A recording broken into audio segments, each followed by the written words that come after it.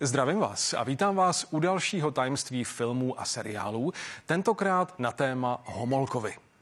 Málo která rodina se zapsala do dějin naší kinematografie tak výrazným písmem, jako se to povedlo věčně hudrující rodince Homolkových. Její příběhy se poprvé na filmovém plátně objevily v roce 1969 a dodnes zůstávají nejen aktuální, ale i vtipné. Abychom blíž pochopili, co všechno vedlo ke vzniku téhle oblíbené trilogie, musíme se trochu víc ponořit do atmosféry 60. let. Zatímco předchozí desetiletí přinášelo převážně agitační filmy s jasně danou myšlenkou, která měla v divácích vzbudit pocit, že je potřeba budovat socialismus minimálně na 110%, začátek 60. let sebou přineslo řadu změn. Filmovým producentům došlo, že na podobné filmy, které se de facto od konce války svým stylem nijak nezměnily, už nikdo nechce chodit. Zároveň došlo k pozvolnému uvolňování cenzury, která najednou plno věcí dokázala přehlédnout. Zároveň se do kin dostalo i plno zahraničních filmů, ze kterých mezi ty nejvýraznější patřily ty francouzské. A důležitou roli sehrála i Pražská filmová akademie muzických umění, jejíž profesoři patřili k nejlepším v Evropě a dokázali otevřeně pracovat s novou generací filmařů. Všechny tyhle faktory stály u vzniku nové české filmové vlny. Jejich členy se stala většina tvůrců, kteří začali tvořit právě v 60. letech. Pro novou vlnu bylo typické, že její představitelé nechtěli realitu nějak přikrašlovat a rádi objevovali pro své projekty nové a neokoukané tváře, a to převážně z řad začínajících neznámých herců nebo obyčejných lidí, kteří dosud neměli ani tušení, že by se mohli někdy ve filmu objevit. Snímky se většinou točily kolem obyčejných problémů, které začínající filmaři dobře znali. Tedy kolem prvních lásek, neustálých střetů s rodiči, anebo s novým pohledem, který nebyl příliš lichotivý, reflektovali společnost kolem sebe. Vzniklo několik skupin, které se od sebe přístupem k filmu jako k médiu lišily. My se zaměříme na trojici kolegů a přátel, mezi kterými byli Miloš Forman, Ivan Paser a Jaroslav Papoušek. Pro ně byl typický až téměř dokumentární styl vyprávění, který byl sice na některých místech naaranžovaný, ale i tak dával hercům velký prostor k improvizaci. Zatímco první dva ve svém pohledu na svět vždy dokázali najít něco laskavého, Papoušek byl ve svých snímcích nekompromisní. A byl to právě on, kdo stál u zrodu hořko-sladkých eskapát maloměšťácké rodiny Homolkových. Narodil se 12. dubna 1929 ve Velkém Bočkově na Zakarpatské Rusy, ale své dětství prožil s rodiči v jihočeských Čimelicích, kam se velmi záhy přestěhovali. Původně vůbec nepočítal s tím, že by se měl v budoucnu stát známým umělcem. Vystudoval totiž obchodní školu a pracoval jako pomocný dělník na stavbách. Teprve v 50. letech se přihlásil na Akademii výtvarných studií, kde se vypracoval v úspěšného sochaře a výtvarníka. Bavilo ho i psát. Konec konců jeho novelu s názvem Černý Petr sfilmoval právě jeho kamarád Miloš Forman.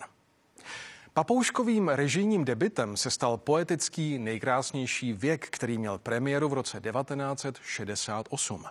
Jednalo se o citlivý pohled do jednoho sochařského ateliéru, kde se scházely nejrůznější generace lidí a navzájem se konfrontovali se svými sny a představami o životě. Dosavadní scenárista si tak osahal režijní práci, zjistil, jak nejlépe jednat s lidmi a začal připravovat svůj následující film. Bylo to období, kdy se tvůrčí trojice rozpadla, protože jak Forman, tak Passer emigrovali. Jaroslav Papoušek se tehdy zaměřil hlavně na to, co měl u filmů rád, na satiru. Jeho nový film se jmenoval Ekce Homo Homolka a po své premiéře se okamžitě stal snímkem, který si diváci i přes jeho ostře satirickou notu zamilovali a dokázali ho téměř citovat na spaměť.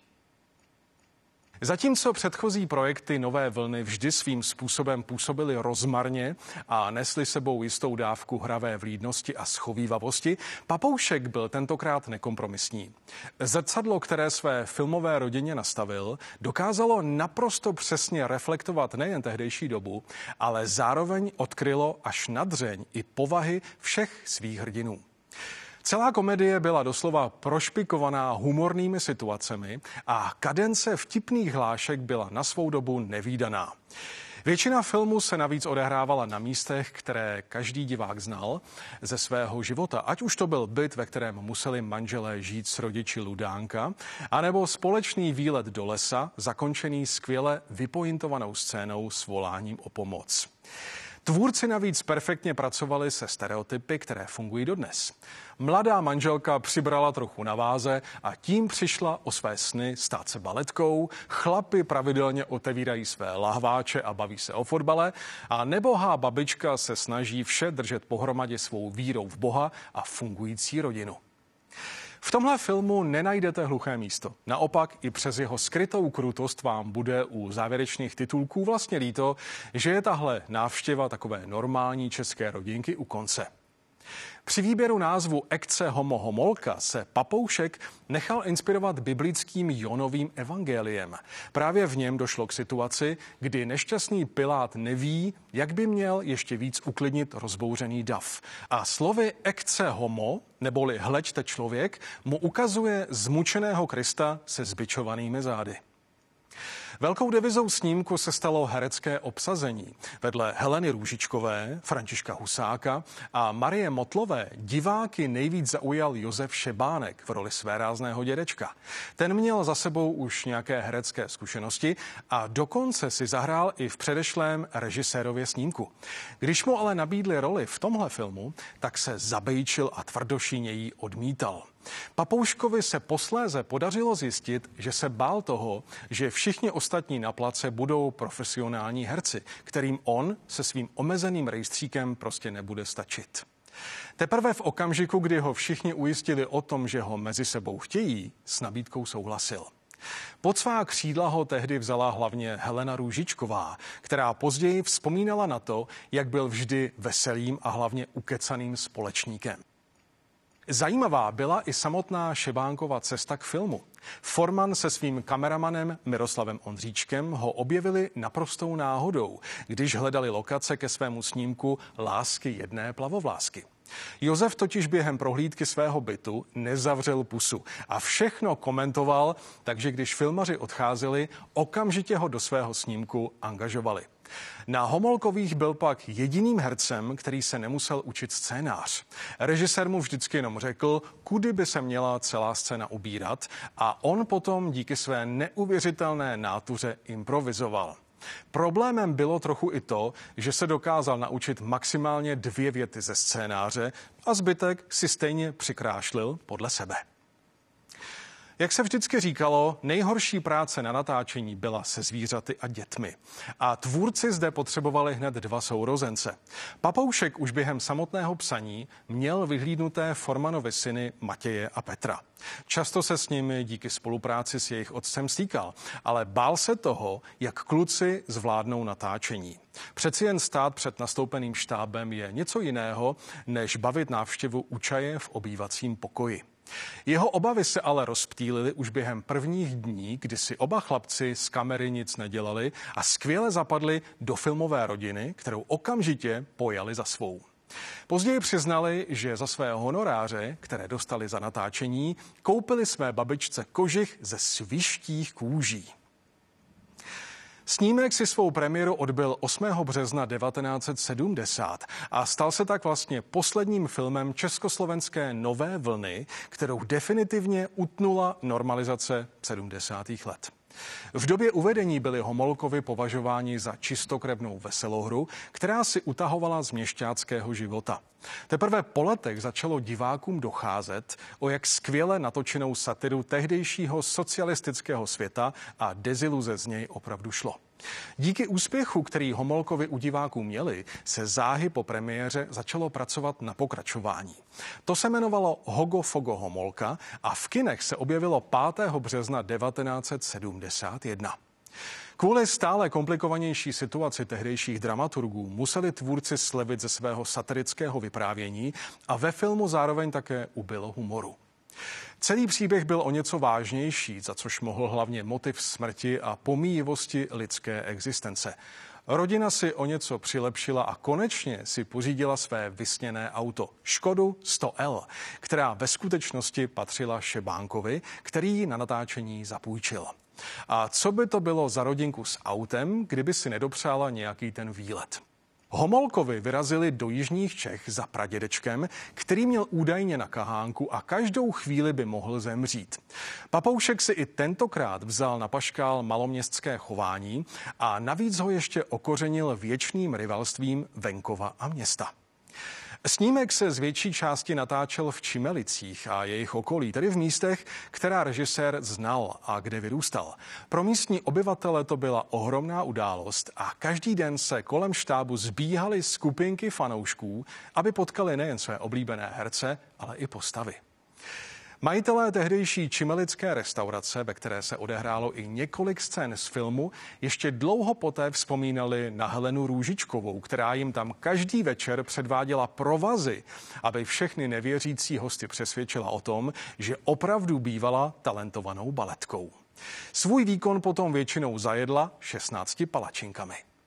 Stejně jako u prvního dílu bylo největším problémem k účinkování přemluvit Josefa Šebánka. Ten si totiž i přes své zdravotní potíže užíval života plnými doušky, což se pomalu začalo projevovat na jeho zdravotním stavu. Trpěl cukrovkou, měl oslabené ledviny a ještě ho začínalo zlobit také srdce. Před samotným natáčením mu lékaři navíc diagnostikovali nádor na močovém měchýři. Ten byl naštěstí nezhoubný, ale herci to na chuti znovu se objevit na filmovém plátně moc nepřidalo. Nakonec se ale zase nechal nadšeným štábem přesvědčit. V okamžiku, kdy byl snímek hotový, se povedlo jednomu z techniků omylem osvítit materiál, na kterém byla natočená závěrečná scéna, ve které se Homolkovi koupali v jezeře. Bylo tedy potřeba ji natočit znovu. Jenže tou dobou byl už dávno podzim a všechny herce tak čekalo nepříjemné odpoledne, kdy museli stát ve studené vodě a přitom se tvářit, jak jsou nadšení z parného letního dne. Závěrečný díl volné trilogie s názvem Homolka a Tobolka měl premiéru v roce 1972 a jednalo se o nejméně úspěšný film z celé série. Do kin na něj přišlo sice víc jak půl milionu diváků, což nebylo málo, ale popularity předchozích snímků už nedosáhl. Rodinka tentokrát vyrazila na rekreaci do hor a přestože tam zažívala mnoho humorných situací, chyběl jim už onen přesah, který byl pro Homolkovi do té doby tak typický. Samotný papoušek v finále své série neměl rád. Mohla za to hlavně barandovská cenzura, která mu po celou dobu natáčení významně dýchala na krk a rezolutně odmítala jakýkoliv nápad, který nebyl ve vedením už podepsaném scénáři. Snímek navíc údajně hned po schvalovací projekci rozcupovala na kousky a valnou většinu natočeného materiálu z něj nechala vystříhat a zničit. Režisér tedy musel říct všechno, co zbylo a slepit to do aspoň trochu koukatelného celku, který byl nahony vzdálený jeho původní představě. Přesto je pozoruhodné, že se mu nakonec i z těchto zbytků povedlo vytvořit film, který si získal srdcem mnoha věrných fanoušků. Stejně jako on trpěl na place i Šebánek, jehož zdravotní stav se opět znatelně zhoršil a on celý snímek odehrál ve velkých bolestech. Přesto ale nestrácel svůj smysl pro humor. Jeho manželka Marie na natáčení zavzpomínala po jeho smrti takto. Když natáčeli v Krkonoších, paní Růžičková s panem Hrzánem museli odjíždět na divadelní představení do Prahy. Josef mě poprosil, abych mu po nich poslala něco k jídlu, dvě stovky a čistou košili. Tak jsem usmažila pár kotlet a z dobré vůle přidala 100 korunů navíc. Za několik hodin zazvonil telefon. Máňo, už mi nikdy nic neposílej. Kotlety sežrala Růžičková, Hrzán prochlastal tři stovky, ještě že mu ta moje košile byla velká. Vedle populárních herců, které doplnil ještě rozverný Jiří Hrzán, se ve filmu objevil i Petr Kakeš. Ten si zahrál malého Pepíka, syna vedoucího horské zotavovny, který sní o tom, že se stane slavným skokanem na lyžích. Zajímavé je, že zatímco ve skocích nakonec nevynikl, jeho doménou se nakonec stalo rychlostní lyžování. V něm v roce 1992 reprezentoval Československo na zimních olympijských hrách ve Francii francouzském městečku Albertville, kde skončil na šestém místě, když zajel český národní rekord. O rok později se potom stal ve stejném sportu mistrem Spojených států a za svoji kariéru hned třikrát vyhrál závod v extrémních podmínkách Arctic Man, který se pravidelně pořádá na Aljašce. Přestože výsledný snímek se už netěšil takové popularitě jako jeho předchůdci, pořád se jednalo o ve své době nadprůměrnou komedii. Už sice nešla tolik do hloubky jako předešlé díly, přesto ale dokázala pobavit a rozesmát diváky. Kameramanem snímku byl světově proslulý Miroslav Ondříček, který měl tehdy teprve před sebou hvězdnou kariéru a spolupráci na takových filmech jako Amadeus, Vlasy nebo Čas probuzení. Helena Ružičková na dobu strávenou na horách zavzpomínala takto. Když jsme ve Špindlerově mlíně točili třetí díl, vsadila jsem se s kameramanem Miroslavem Ondříčkem obednu šampaňského, že mě Jirka Hrzán v náruči přenese přes celý parket. Když se to dozvěděli ostatní, chtěli se do sázky zapojit. Samozřejmě všichni viděli snadný přivídělek, protože si mysleli, že se mu to nemůže povést. My to ale s Jirkou měli vyzkoušené, takže mě v pohodě přenesl tam a ještě na zpátek. A šampáň potom teklo proudem. Dokonce tak, že se potom objevilo v rudém právu, že se herci po natáčení koupali v šampaňském. Tak to ale nebylo. My jsme se v tom nekoupali, my jsme to všechno vypili. Přestože to při sledování filmu na první pohled vypadalo, že většinu času strávil štáb na horách, později vyšlo najevo, že tomu tak nebylo. Aby měli dramaturgové na Barandově vše pod kontrolou a zároveň taky ještě trochu ušetřili, nechali většinu interiérů postavit v ateliérech s tím, že se o tom tvůrci nebudou nikde zmiňovat. Ondříček se k celé kauze vyjádřil až po mnoha letech následovně. Ta jídelna, ten sál s parketem, byl podle vzoru vybudován v ateliéru, ale od reálu se dost lišil. Pozorní diváci si toho jistě všimnou. Stejně jako recepce nebo hotelové pokoje byly vybudované v pražské hostivaři. Homolka a Tobolka bylo završením jedné velké filmové éry. Éry, která byla do jisté míry svobodná a která byla na počátku 70. let nenávratně pryč. Jaroslav Papoušek se k práci režiséra a scénáristy ještě několikrát vrátil, ale žádný z jeho nových projektů se svojí kvalitou nepřiblížil snímkům o populární maloměšťácké rodince. Jakoby po svých zkušenostech s cenzurou na další originální tvorbu naprosto rezignoval. Jeho filmy Televize v bublicích anebo Bublice v televizi, Žena pro tři muže anebo Cesta kolem mé hlavy zapadly v průměru a ztratili se mezi desítkami dalších nevýrazných filmů. Závěrečný díl trilogie byl zároveň poslední velkou rolí Josefa Šebánka. Objevil se potom ještě v povídkovém snímku Maturita za školou a poté se stáhl z veřejného života. Jeho zdravotní stav se rapidně zhoršoval a jemu začalo vadit, že ho lidé na ulici poznávali a chtěli po něm, aby neustále předváděl některé ze scén, které mezi diváky zlidověly. V posledních letech svého života výrazně zhubl a nechal si narůst plnovous, aby měl alespoň chvilku klidu. Zemřel 13. března 1977. Přestože jeho kariéra trvala pouhých 8 let, stal se jedním z našich nejvýraznějších neherců. Svým rolím dokázal vtisknout neuvěřitelné charisma a svébytnost. Pro Marii Motlovou, která hrála jeho trpělivou manželku, byl první díl Homolků filmovým debitem, ačkoliv jí tehdy bylo už 51. Stříbrné plátno se jí dlouho vyhýbalo. Svým způsobem za to mohl její osud. Narodila se 1. května 1918 v Boru u Tachova a na přání svých rodičů se stala zdravotní sestrou. Její ohromnou touhou ale bylo divadlo a tak začala navštěvovat konzervatoř, kde svým talentem všechny okamžitě okouzlila. A to tak silně, že získala stále angažmá ve studiu Národního divadla. Tam jí ale dohnali její vnitřní démoni. Trpěla totiž nedostatkem sebedůvěry a sama se považovala za příliš malou a zbytečně moc silnou. Zároveň neměla ráda svůj obličej, který považovala za nehezký. Své pocity tak začala utápět v alkoholu, který nakonec stál i místo v divadle. Musela opustit Prahu a vystřídala několik menších scén v krajských divadlech. Stejně jako její herecký partner Šebánek, i ona si uměla užívat života plnými doušky. Co ale nezvládla, byly finance. Jakmile vydělala nějaké peníze, byla schopná je během několika okamžiků kompletně utratit. Když se potom náhodou stalo, že neměla na alkohol, tak neváhala ani chvilku, vyrazila na černý trh a tam prodala svůj občanský průkaz a za utržené peníze vyrazila třeba taxíkem až na Šumavu, kde měla chatu, na kterou ráda jezdila. Její kamarádka Antonie Hegerlíková na ní zavzpomínala takto. Bohužel pila, protože uvnitř byla nešťastná ze svého vzhledu a to jí zničilo život. Jednou přišla opilá na představení do Národního divadla a kvůli tomu jí pak vyhodili.